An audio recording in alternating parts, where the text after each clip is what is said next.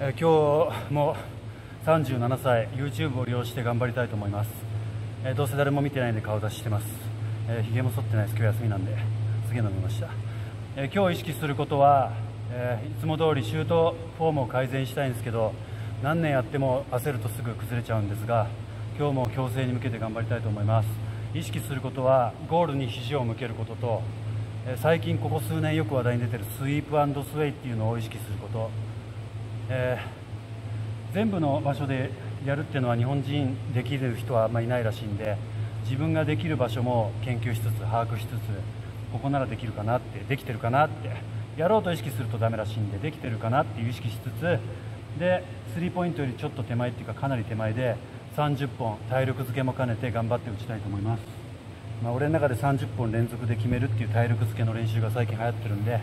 え、今日も頑張りたいと思います。理由はわからないけど理由は後付けでもいいと思います。バスケが好きだからっていうかよくわかんないですけど今日もこの動画を撮ってるっていう理由付けで、まあ、自分を騙して運動したいと思います。よろしくお願いします。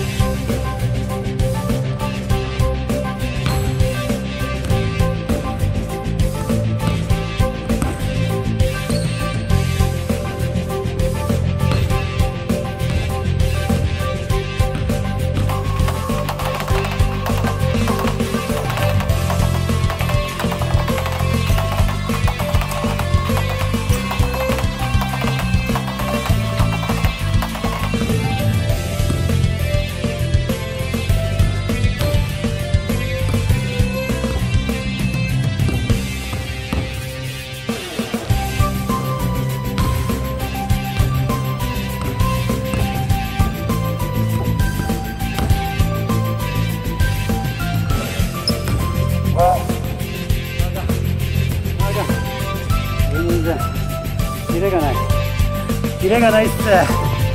メだ